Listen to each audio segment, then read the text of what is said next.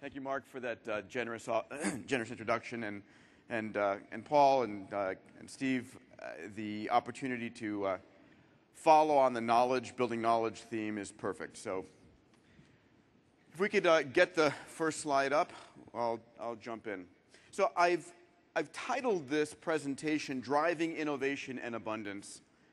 And at the end of the day, we're we are building an extraordinary world ahead, and you're building an extraordinary world ahead. And I, I, want to, through this presentation, really give you a sense of what the technologies coming down the pike are that are going to transform how you do your work and what technologies you use and how you interface with your customers, your clients, your employees, not in 20 or 50 years, but this decade. And I also want to show you how, despite all the negativism you're seeing from DC or in the news, the world is getting better at an extraordinary rate. So I'm going to hit on three subjects. The first is what I call 10 to the 9 thinking, how technologies are coming online today that it can impact a billion people overnight, crowdsourcing genius, and this theme of abundance.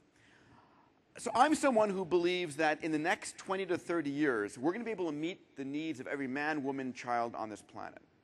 And when I speak about something like that, people look at me, you know, sort of, really, do you think that, I mean, that's a kind of a crazy idea, Peter, and how can you possibly believe that's going to happen? And when I think about why I have a disconnect from the way most people are seeing the future, the realization is that most of us, myself many times, all of us most of the time, see the future really through the lens of the past. We're linear thinkers. You see, as humans, as we evolved on the plains of Africa hundreds of thousands of years ago, millions of years ago, the wetware and hardware of our brains was shaped by our environment. We as a human being are really have been evolved to meet the needs of our environment. And our environment back then on the savannas of Africa was living in a world that was local and linear. What I mean by that was that everything that affected you back then was within a day's walk. Right? If, if something happened on the other side of the planet, you knew nothing about it. So we lived in a very local situation. It was linear in that the life of your great grandparents, your parents, you, your kids, their kids, nothing changed millennium to millennium, century to century, generation to generation. Things were pretty constant. So the way our brain was been wired to think is we think in a local and linear fashion. But today, the world is anything but that, right? Today, the world is global and exponential. Something happens in China or India, we know about it microseconds later. At least our computers do. You know, not only do things change century to century or decade to decade, things are changing year to year. Now, if you graph this, this plot is what you get. You see the red line down at the bottom that's us. It's us humans. It's our employees. It's our uh, customers. It's our politicians. We are linear thinkers. We think in very linear fashion. You know, we like waking up in the morning and knowing that the world is pretty much the same as it was the day before.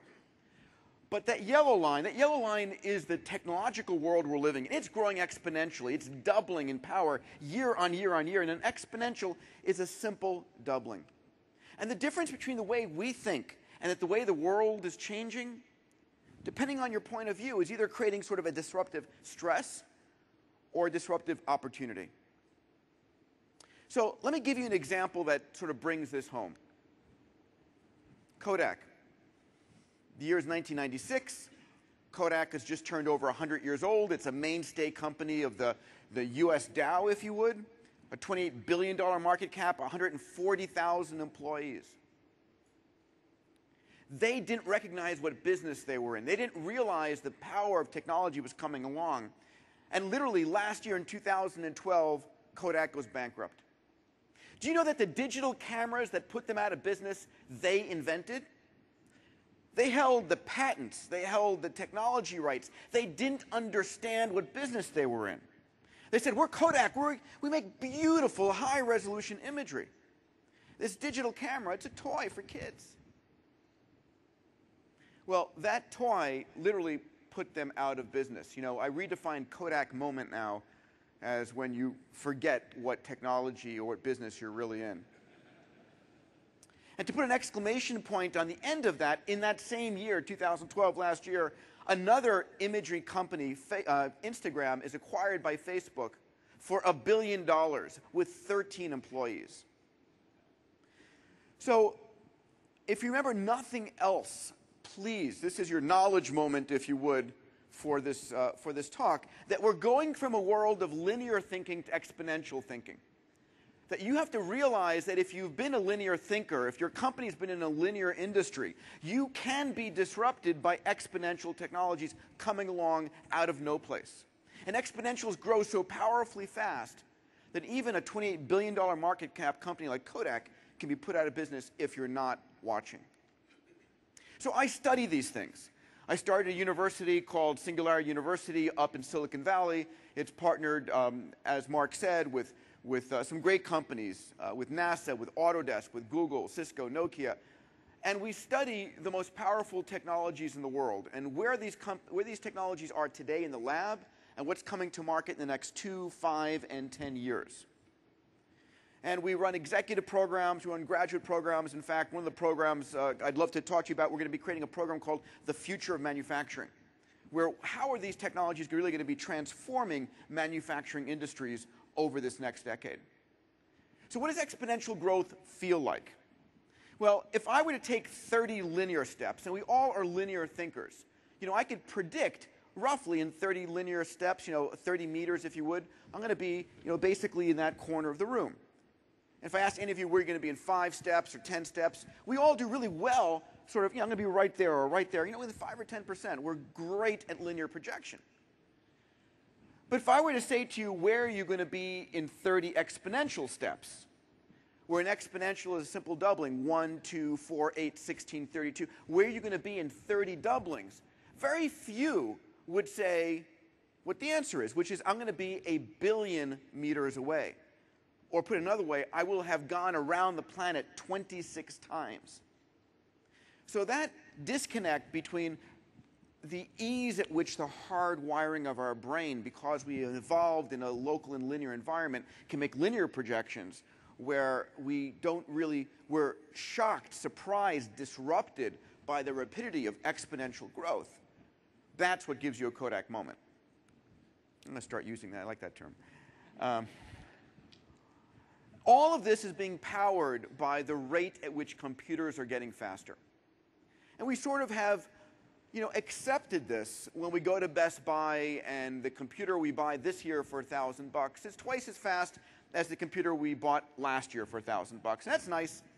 But what we don't realize is the power that this is having on the world. So this is a chart showing over the last 110 years how much computing power $1,000 of constant year dollars could buy you.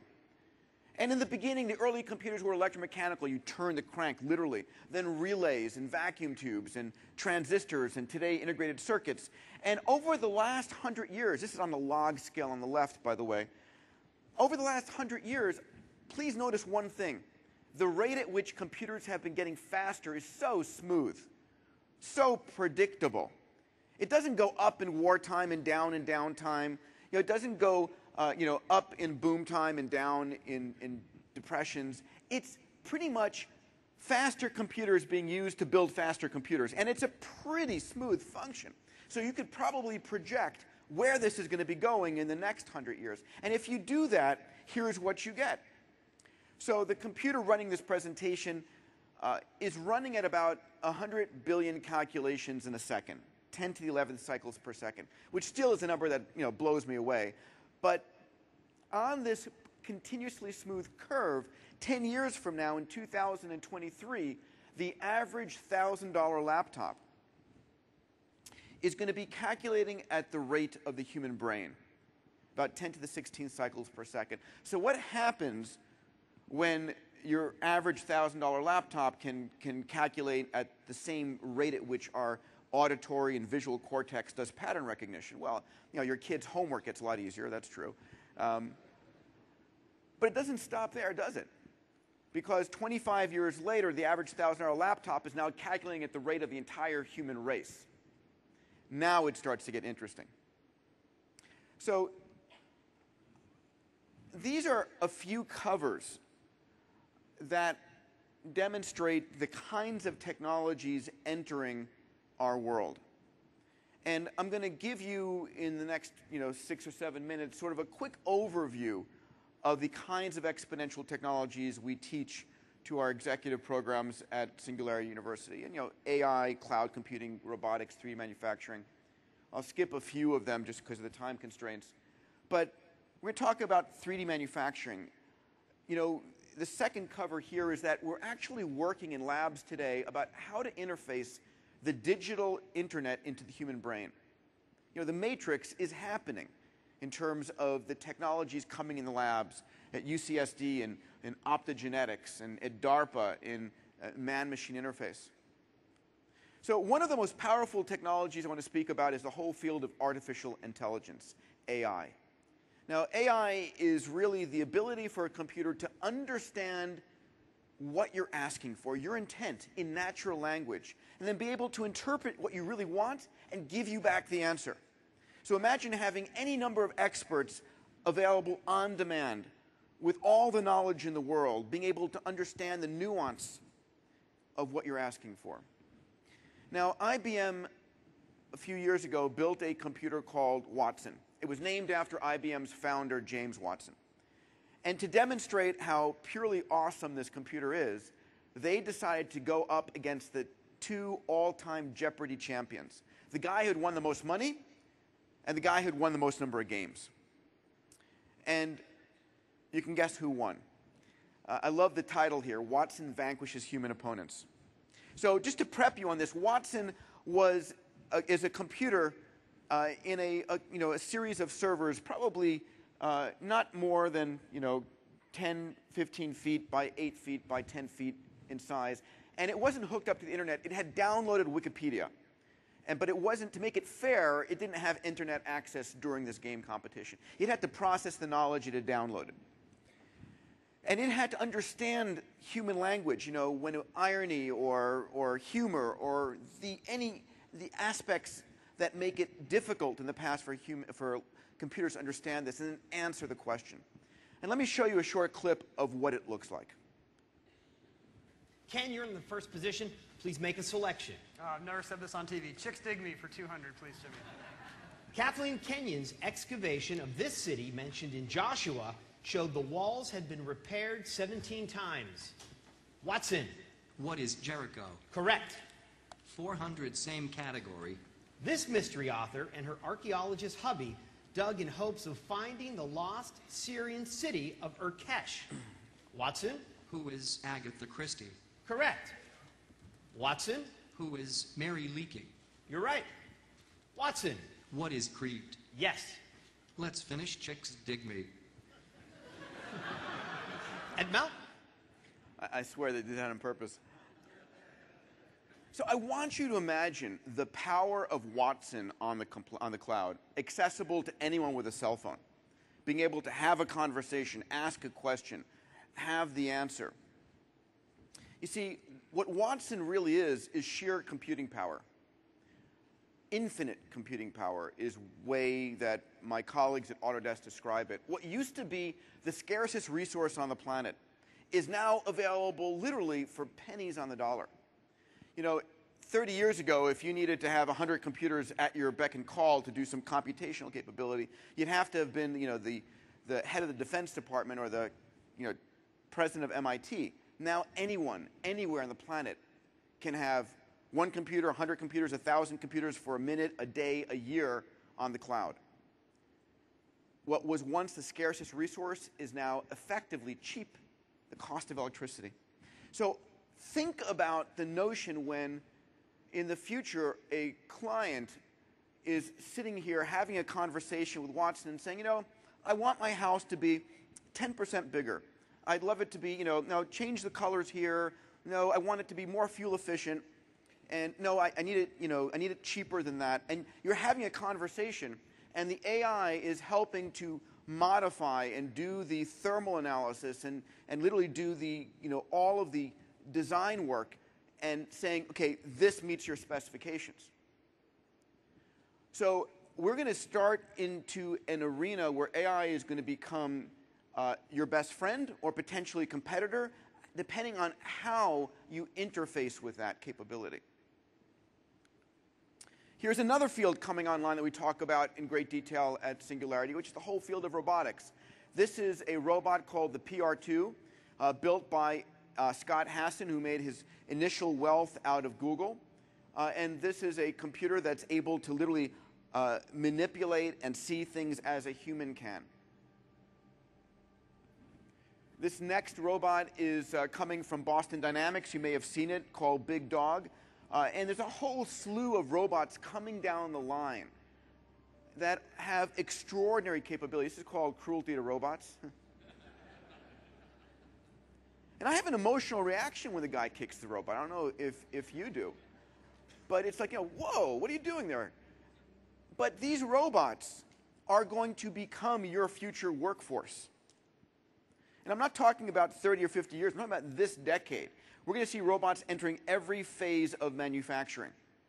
So these are robots that work 24 7, don't have to be given drug screens, don't show up late for work, don't have unions, don't have, don't have, don't have. How is that going to change your industry? And, you know, we talk about in the United States losing jobs to China and India. Well, those jobs get lost to robots where the cost of electricity here is the same price as the cost of electricity there. So, I, you know, my goal here is to give you knowledge of where things are going so you can prep for this entering into your industries. Other robots. This is friends of mine at Google, Larry Page in the driver's seats on my board at the X Prize Foundation, Sergey Brin, who runs us in the back, and you've heard about Google's autonomous car. Well, every car manufacturer now is beginning to build these kinds of autonomous systems. So they've built early on, you know, six Prius vehicles, a, a few uh, Lexus vehicles. They've driven 300,000 miles fully autonomously. And this is a car that's fully autonomous. Look at that device that's spinning on the roof over there. I'm going to show you that in a moment. These cars are now becoming legal in Nevada, California, and Florida. How many of you have large workforces of drivers that you will not have to pay after your autonomous vehicles are making deliveries on their own? So this is what the actual car is seeing as it's going down the road. That LiDAR on the top is a, basically a laser detection and ranging device. It's got 64 lasers that are doing 10 RPMs, and it's generating 750 megabytes per second of data. That LiDAR is seeing everything around it, every you know, person, every car, every stop sign, every light. It's also seeing people you know, walking along the streets. It's recording all of this data and able to literally have a 360 view of knowledge far better than any human can. So as I drive in the back of these cars, which I have, after a few minutes, you know, I trust that car better than a human driver. It's got far more capability to drive safely. So look at how this may transform your industries in the near future. Another technology coming online is the whole field of 3D printing, digital manufacturing where we're starting to create and print things not in two dimensions like a sheet of paper, but actually three dimensions. And these are devices, it's the closest thing to the Star Trek replicator. These are devices that can print layer on top of layer on top of layer and print any three dimensional structure out of steel, out of titanium, out of plastic, out of cement. So let me show you some examples. This is a, a plastic polygon within a polygon within a polygon, all printed at once. So you have working parts within working parts printed from the bottom up. These are, are high temperature titanium turbine blades. This is a new type of photo booth out of Japan where they take a photograph of you and then print a 3D figurine. This is a person who lost his left, his right lower limb. They scanned his left limb, flipped the image, and printed a 3D composite prosthetic. This is a full-scale motorcycle that was printed in the, in the, except for the engine, in the hall of Autodesk. And applicable to you, there's a whole series of technologies coming on down on 3D printing of homes and buildings. So imagine being able to literally have a device that's able to take, you know, earth, water, aggregate, cement, whatever it might be, and have an infinite number of homes. So that in the developing world, at least, a, a person who's got, you know, six kids can say, hmm, out of the 100 uh, designs, I like that one, print. And have this thing literally print a 3D cement structure or concrete structure. And, but these are kinds of technologies coming down the pike that I think as an industry you need to be aware of. So this first part I spoke about in our knowledge session here is the technologies coming down. The second part I want to talk about is how do you crowdsource solutions by getting the smartest people in the world to help you solve your problems. So I've been a space cadet since my childhood. I grew up wanting to be an astronaut, born in the 60s, grew up in the 70s during the Apollo program. I was watching Star Trek. I, I drank all the Tang I could get my hands on. and I've started a dozen companies. One of my companies does zero gravity flights. Another company sends people to the space station. Most recently, you may have read, I started a company backed by a group of eight billionaires to go out and mine metals and precious materials from asteroids. Long story. Um, but my dream had been spaceflight. And I grew up believing that I could go to space and then gave up when NASA wasn't getting us there, at least wasn't getting us there. And I read it one day about Charles Lindbergh that he crossed the Atlantic in 1927 to win a $25,000 prize. Now, I thought Lindbergh just woke up one day in New York and Roosevelt Field and decided to fly east. But no, there was a, a prize offered for the first person to do this. And what was incredible was this $25,000 prize inspired nine different groups around the world who spent $400,000 trying to win Raymond Orteig's 25,000 bucks. I said, well, that's interesting. If you have a difficult challenge you don't know how to solve, you can put up a prize, a very clear set of rules, and say, hey, whoever does this gets the money. Anyone who tries and loses doesn't get anything. And that's called an incentive prize. Well, amazingly, Lindbergh made that flight, and within 18 months of his flight across the Atlantic, the number of people buying tickets went from 6,000 to 180,000. His bold demonstration of flying the Atlantic created the marketplace and launched a $300 billion aviation industry. So, going back to my childhood passion, I said, aha, I'm going to create a prize to drive people to build spaceships to take me and my friends into space. And it was, you know, when I read Lindbergh's bio, I wrote these rules down, and they held pretty true. $10 million was the amount of money I was going to offer. I didn't have the money, but that's what I wanted to offer. It had to be a spaceship that could carry three adults into space. So at the end of the competition, you'd have you know, a working vehicle for a pilot and two paying passengers, or an autopilot and three very brave passengers. You had to go to 100 kilometers, land, and within two weeks make the trip again. Now, I called this the X Prize because I had no idea where I was going to get the money. And the X stood for the name of the person who would ultimately put up the cash. But I had raised about a half a million dollars from patrons in St. Louis and made the bold calculation I was going to announce this prize anyway. And so, on stage with me to give this prize credibility, I had the head of NASA, the head of the FAA, the Lindbergh family, 20 astronauts, and we announced this $10 million competition. Front page around the world. The media didn't ask, you the money? I did not. Do you have any teams? I did not. But I had the full intention and uh, you know, confidence that who would not want to pay the $10 million you know, after the prize was won? So I set out on my journey to go out and raise the $10 million. And I sat down with Fred Smith at FedEx. Fred, the $10 million FedEx X Prize, it's got a great ring. Peter, I love the idea. It's great.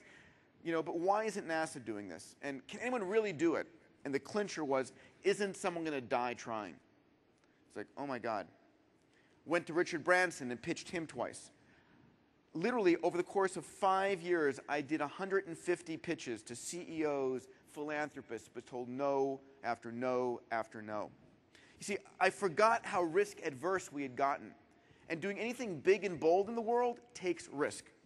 You know, the day before something is truly a breakthrough, it's a crazy idea. And it, you know, if you're not allowed to take risk, if you're not allowed to take failure, then you can't do anything bold and new in the world. Long story short, five years later, I read in Fortune magazine about this woman, Anousheh Ansari. Born in Tehran, came over to the US, became a serial entrepreneur, had just sold her third company called telecom technologies to Sonus Networks for a billion dollars. And in her bio, it said her dream was to fly on a suborbital flight into space. It's like, my God, this is the person. And after being told 150 times no, I was like, I, com- I remember exactly where I was, where I committed to myself, I'm going to track her down. And I did, vacationing in Hawaii for the last two months after selling her company. I was her first meeting when she got back with her husband Hamid, and they agreed on the spot to fund the competition. And we called it the Ansari X Prize in, in their honor. Amazingly, the competition worked again. We had 26 teams from seven countries around the world who spent $100 million to go after this competition. This was the winning vehicle, Spaceship One, built by a group of 30 engineers. That's it, 30 engineers in the Mojave Desert. Just think about the technologies that I spoke about in the first part and how that empowers small teams to do extraordinary things, things that only the largest governments and companies could ever do before. So here's the vehicle taking off using nitrous oxide and tire rubber as the fuel. Here she is at altitude, and the winning moment down on the ground. On the far left is Anousheh and Amir, her brother in law. Next to them is myself. Next to me is Paul Allen, who funded Burt Rutan, who's next to him to build it. Then Brian Binnie. And here comes Richard Branson, after turning me down twice.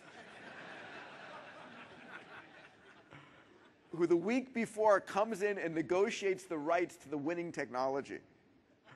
And that's why he's Richard Branson, right? But I'm thankful. I'm thankful. First of all, uh, he's given me my seat to go and fly on Virgin Galactic. But he committed a quarter of a billion dollars to commercialize the technology, which was our goal in the first place.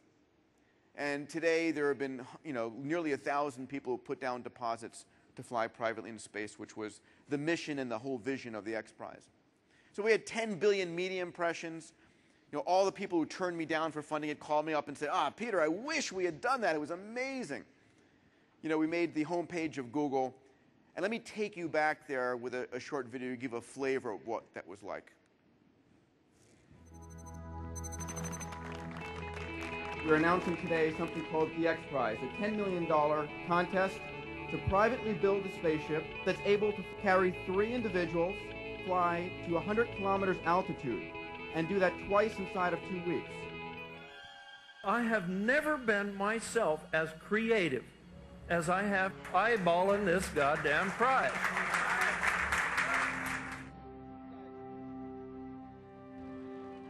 Hello and welcome to Mojave here in the high desert of California on this incredible day. Now you are going to witness history in the making. Release arm fire.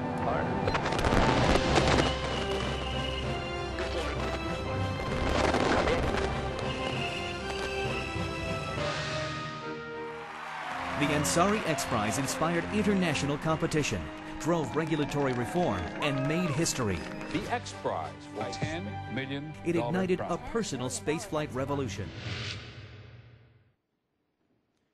And now the winning vehicle, Spaceship One, is hanging in the center of the Smithsonian Air and Space Museum, right above the Apollo 11 capsule, next to the Spirit of St. Louis that inspired it in the first place. How cool is that, huh? Thank you.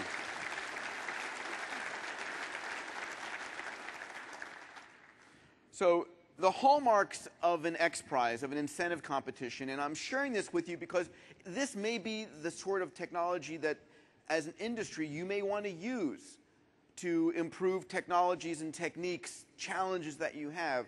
Because when you create a competition and you challenge the world to help you solve it, you get 10 to 40 times the prize money being spent to win it. You only pay the winner. You can spark a new industry, and you can drive non traditional solutions.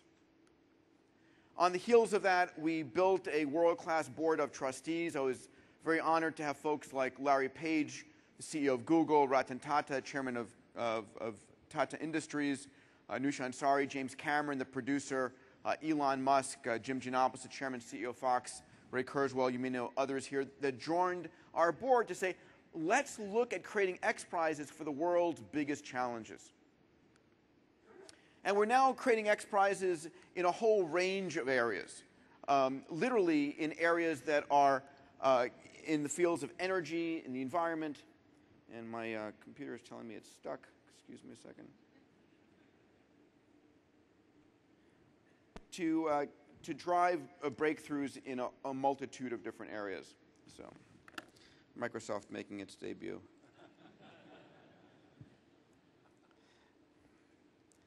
Um, talk about, uh, yeah, talk about AI coming online. Um, at the end of the day, our mission at the X Prize is really to drive radical breakthroughs. Let me.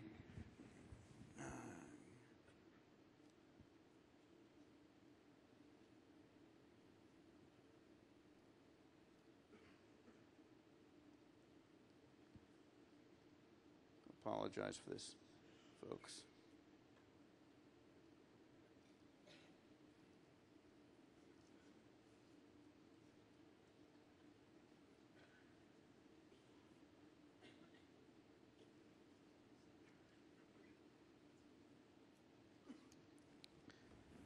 Is really to drive radical breakthroughs in a range of different ideas in energy and environment, in life sciences, in education, and global development.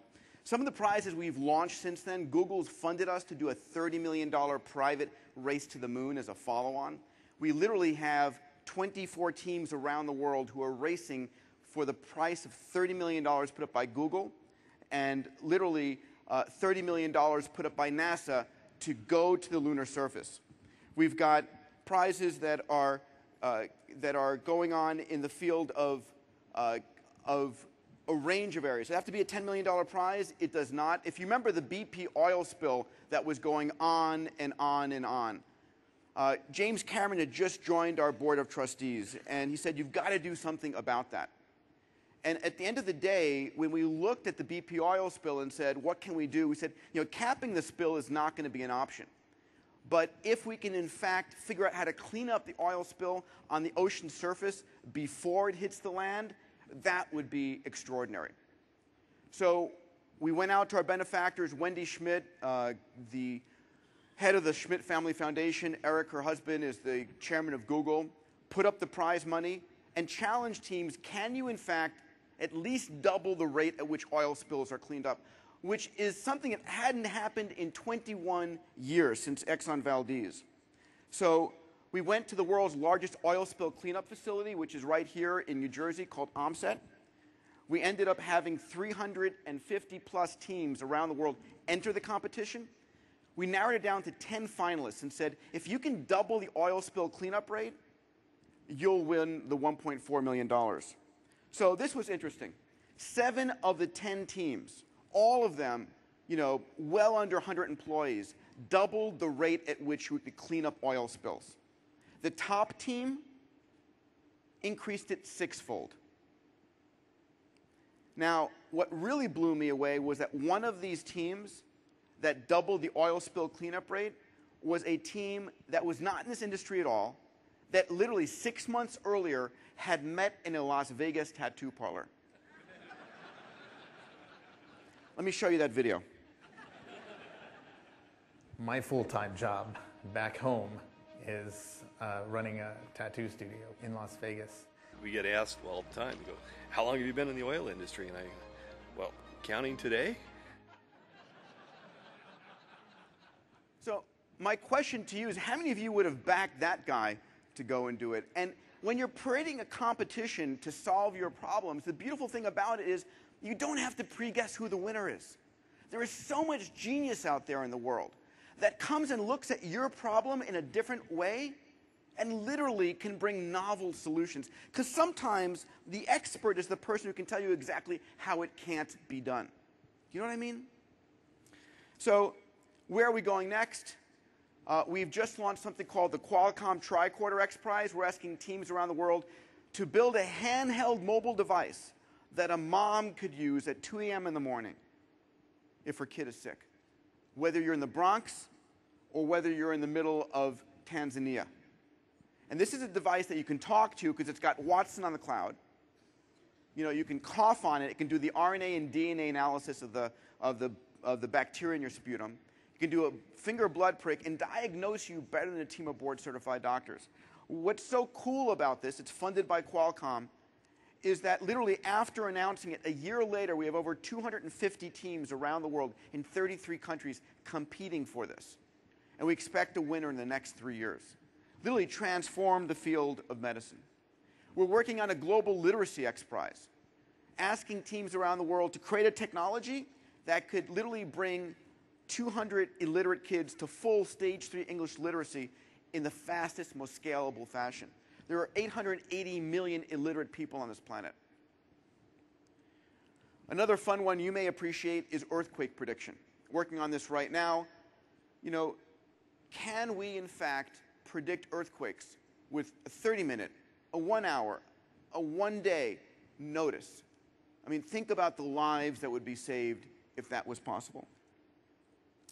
So, what I've shown you here is my point of view of the world. Exponential technologies that empower you to do extraordinary things, the ability to crowdsource genius to solve problems that you may not know how to solve. That gave me a perspective to write my book, Abundance. Now, I wrote this book, I was very proud of it. It came flowing out of me because it was something I had to do. Number one in Amazon, number two New York Times. And as I, as I wrote about this, this concept, you know, I would tell people out there in the world that the world is getting better at an extraordinary rate. And people's response to that was, you know, really? Really, Peter? I mean, haven't you seen, you know, the, the shootings here and the economic crisis there and the political standstill here? How can you possibly say that the world is getting better at, at an extraordinary rate? And when I saw it through their eyes, through most people's eyes, different from the way I was seeing the world, it hit me that, ladies and gentlemen, we're living in a day and age where the news media is a drug pusher, and negative news is their drug. And on every device that you have, day in and day out, on your smartphones, on your laptops, on your tablets, on your radio, on your television, in newspapers, you are getting negative stories pushed to you over and over and over again. And there's a reason for this. You see, as we evolved on the plains of Africa again, if you missed a piece of good news, well, that's okay.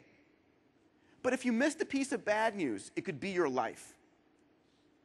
A squiggle on the ground may be a stick or it may be a snake. A rustle in the leaves could be a tiger or could be the wind.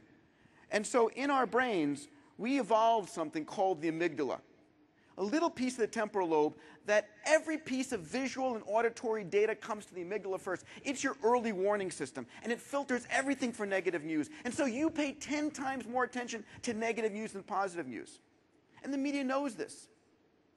And that's why when you open a newspaper and you look for the good news, it's a tenth of the stories. Because you don't pay attention to that stuff. If it bleeds, it leads. But let me tell you what the actual story is. You see, over the last hundred years has been an extraordinary century.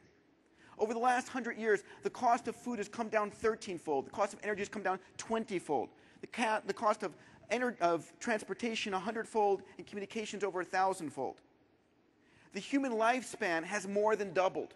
The per capita income for every nation on this planet has more than tripled. And a friend of mine, Steven Pinker at Harvard, who just published a book on this subject, has shown us we are living during the most peaceful time ever in human history. But you wouldn't know that from watching the media, would you? Every single skirmish, every warfare is broadcast in HD over and over again to your, to your living rooms. So it turns out that what has made this extraordinary century so great has been the drive of technology.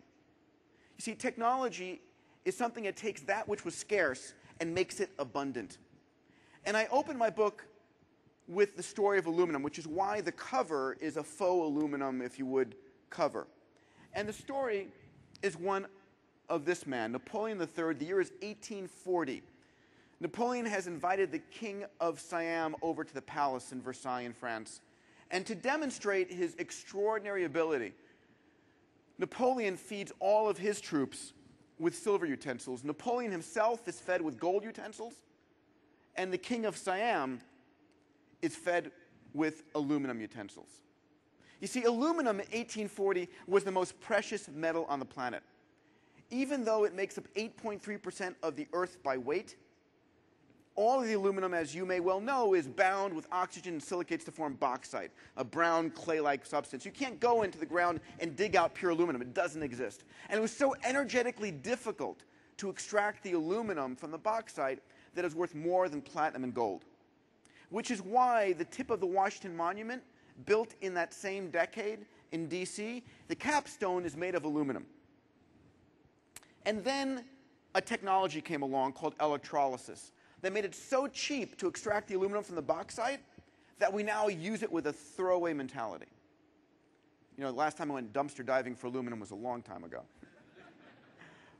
but honestly, literally, what else in our world do we see as scarce that could become abundant? You know, people talk about energy scarcity. Oh my God, we're living in a world of energy scarcity. Well, we live on a planet that is bathed in 5,000 times more energy than we consume as a species in a year. We don't have, you know, a scarcity of energy. We have a scarcity of energy in a useful form. And there are extraordinary technologies coming down the pike there. Literally, the cost of solar is dropping exponentially while our global production rate is exploding. In your industry, I guarantee you this is going to become a mainstay part of the energy systems that you're installing over these next few decades. And if we have abundant energy, we live on a water planet. People talk about water wars and water scarcity. Two thirds of our planet is covered with water. Yes, 97.5% of salt water, 2% of the polar ice caps, and we fight over a half a percent of the water on this planet. But if we have abundant energy, we have abundant water as well. And literally, there are technologies that are going to be transforming that as well. This Maasai warrior on a cell phone has better mobile communications than President Reagan did 25 years ago. And if they're on a smartphone on Google, they have access to more knowledge and information than President Clinton did just 15 years ago. And on that smartphone, what do they have? Two way video conferencing, HD video, HD still cameras, they have GPS. They've got things that we would have spent hundreds of thousands of dollars just 20 years ago available for free. This is the world that we're transforming and living into. We talked about the Qualcomm Tricorder X Prize that's going to be giving anyone with access to a smartphone abundant health care. I'll end on this notion, what I call the rising billion, because it's an important part of your seeing the future economy of the planet. You see, if you look at the number of people on Earth, we've just crossed the 7 billion mark. We're on our way to somewhere between 9 to 10 billion people on the planet. But that's not the point of the slide. In 2010, we had just shy of 2 billion people connected on the internet. 2 billion. By the end of this decade, in 2020, we're going to be going from 2 billion people to literally 5 billion people connected on the internet. 3 billion new minds who have never been heard from before are about to enter the global economy. What do these people want? What will they buy? What will they create? What will they discover? What will they desire? These three billion new minds, for me, represent literally the beginning of the greatest epic of innovation this planet has ever seen. They represent tens of trillions of dollars flowing into the global economy. If they're not your customers, they're your customers' customers. So I'll end on this note that we are in an extraordinary day and age where the technologies that are coming online right now are going to transform every aspect of society, every aspect of our industries. They're going to allow us to do far more with far less. They're going to create a world that is far more interconnected, far richer, and far more powerful than ever before. Ladies and gentlemen, we are entering a world of abundance. Thank you.